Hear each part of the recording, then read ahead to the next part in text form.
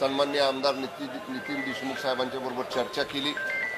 त्यांच्या कामामध्ये काही लोकांच्या मागणीवरनं स्थगिती या ठिकाणी सरकारकडनं देण्यात आलेली आहे. डी सी एम साहेबांच्या बरोबर या संदर्भातली आपण बैठक लावू आणि लोकांना पाणी मिळालं पाहिजे प्यायचं याच्यासाठी सरकार सकारात्मक आहे. की त्यांना वारंवार आपण माध्यमाने सुद्धा पाहिलं त्यांना वारंवार मी विनंती करत होतो की तुम्ही उठा सभागृहाच्या कामकाजात भाग घ्या आणि लवकर माननीय डी सी एम साहेबांकडे बैठक लावू परंतु त्यांचं समाधान झालं नाही.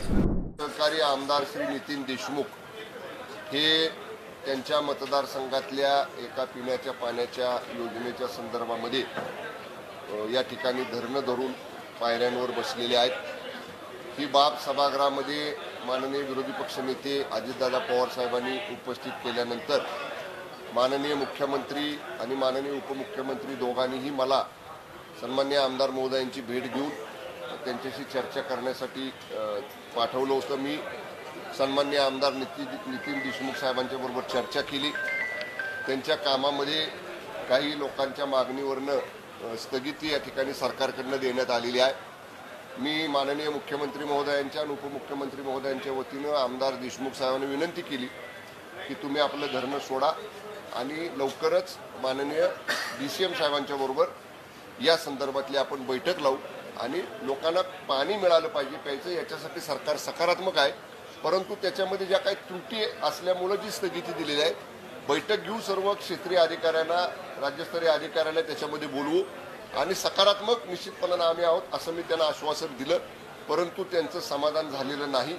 मी त्यांना वारंवार आपण माध्यमाने सुद्धा पाहिलं त्यांना वारंवार मी विनंती करत होतो की तुम्ही उठा सभागृहाच्या कामकाजात भाग घ्या आणि लवकर माननीय डी सी एम साहेबांकडे बैठक लावू परंतु त्यांचं समाधान झालं नाही. परंतु सरकारची भूमिका म्हणून आम्ही सकारात्मक आहोत.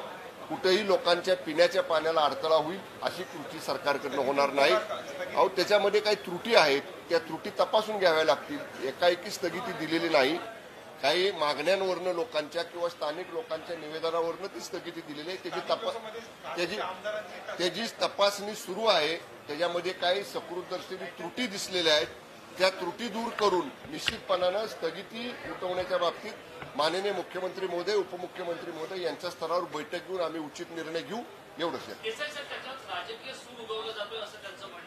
त्यांनी त्यांचा आरोप जरूर करावा ते विरोधी पक्षाचे आमदार आहेत पण आमचे विधिमंडळातले सहकारी आहेत. राज्य सरकार काम करताना पिण्याच्या पाण्यामध्ये तर कधीच राजकारण करणार नाही.